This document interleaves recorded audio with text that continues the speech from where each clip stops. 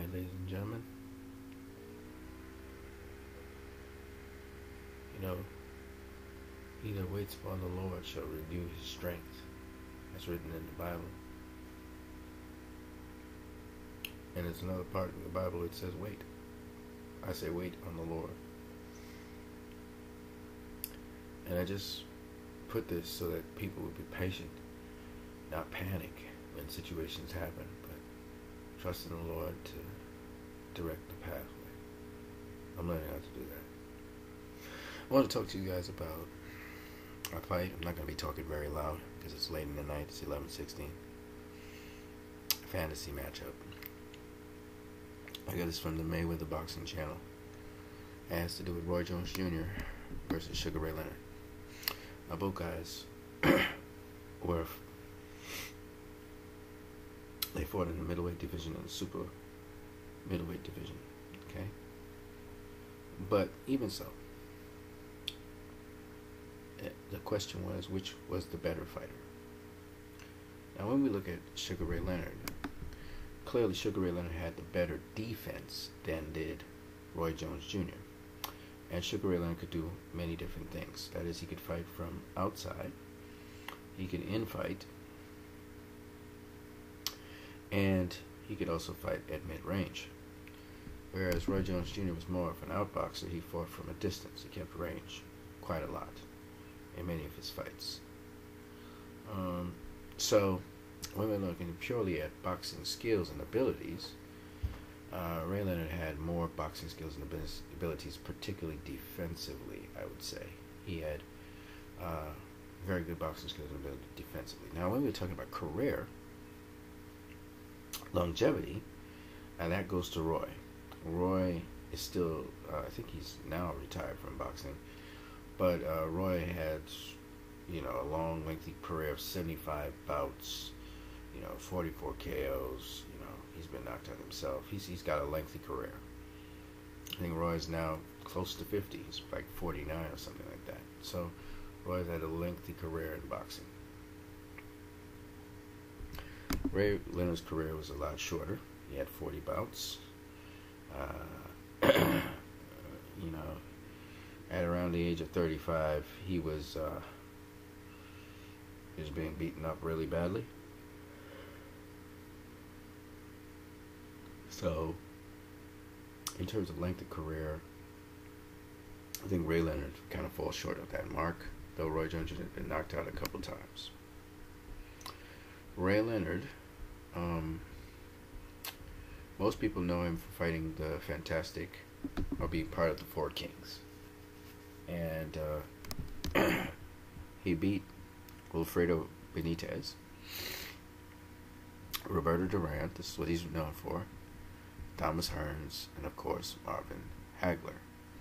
But also, he did one more great feat, which was he beat Donny Lalonde, who was a light heavyweight. He wasn't the greatest light heavyweight out there, but he was one of the light heavyweights out there.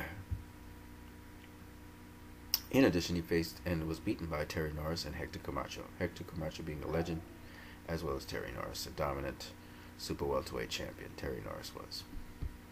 So by and large, this is what Sugar Ray Leonard's legacy is in terms of level of competition.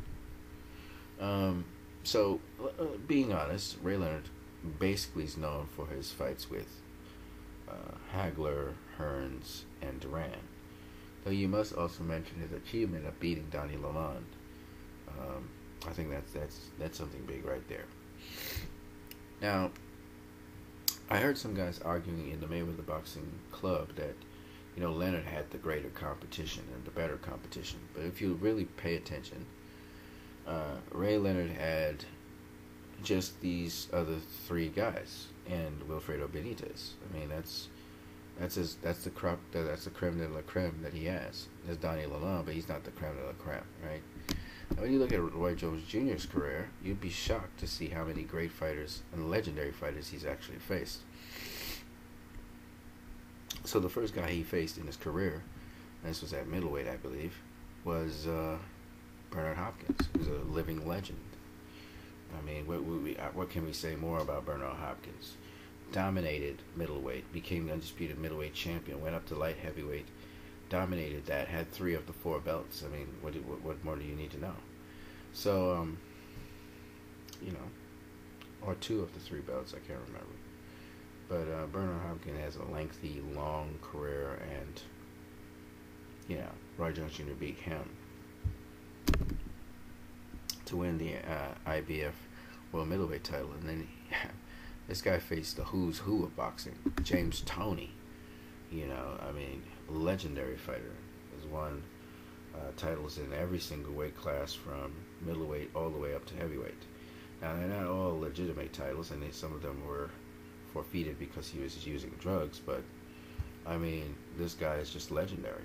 Okay, and you think that's all? No, he also faced the legendary fighter Vinny Pazienza, who won titles in in different weight classes. This guy started off as a lightweight, you know, and won won world titles at lightweight. So I mean, Vinny Pazienza is just a legendary fighter. People don't talk much about him, but you know, Roy beat him. And then Roy also beat Mike McCallum. Now, Mike McCallum was old, I'll give you that. But still, that's another legendary fighter. That's a fighter who Sugar Ray Leonard and Thomas Hearns and Marvin Hagler and Roberto Duran avoided. Okay? He then faced Virgil Hill, another legendary fighter. This was not when Virgil Hill was in his prime or anything, but he has Virgil Hill on his, his resume. Right, then went face light heavyweight champion Lou Del Valle. I think it was WBA light heavyweight world champion. He faced him in a unification and was able to uh, beat him. Lou is not a living legend though. He's just, but he was a uh, he was a champion. Uh, there's more. There's more. Uh, so Julio Cesar Gonzalez was another champion, very good fighter. Um, he went up to heavyweight and faced John Ruiz. So he did just much better than uh, uh, Sugar Ray Leonard. He went up and he actually beat John Ruiz to become uh, the WBA heavyweight champion. So that was just incredible. He then also faced Antonio Tarver, a very good fighter, and he defeated him first time. So I'm just saying. That's Roy's career right there. He lost to he faced some other great legendary fighters like uh, uh, Joe Calzaghe, Felix Trinidad. Got a win over Felix Trinidad.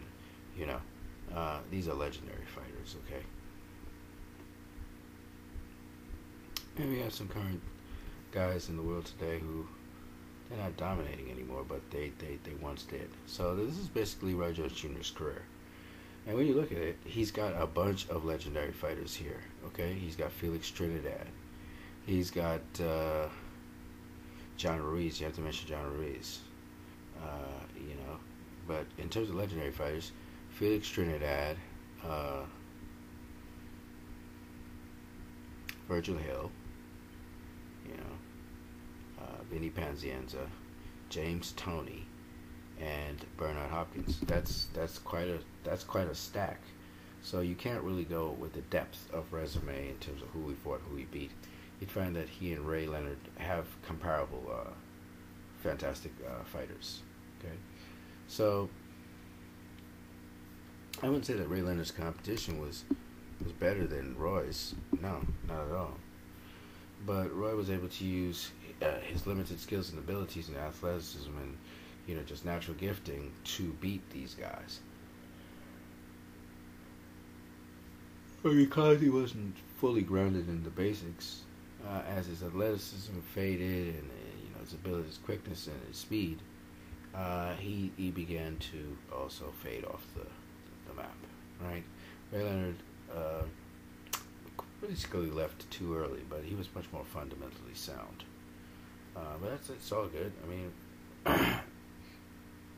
so if you ask me who would be the better boxer, I think I would have to go with uh, Sugar Ray Leonard, but Roy Jones Jr was the more eye-catching boxer and did face stiff competition. Still made them look like they didn't belong in the ring with him. So it is what it is. Um, I think he beat his opponents much better than Ray did. Ray did life and death stuff, and but Ray has a better chin than Roy and better defense than Roy. Uh, you know, so you know if you ask me who's the better fighter, Ray Leonard. Who's the fighter I would want to pay to see uh, overall? That would be Roy Jones Jr. Yeah. So I hope you guys enjoyed this video. You guys have a great one.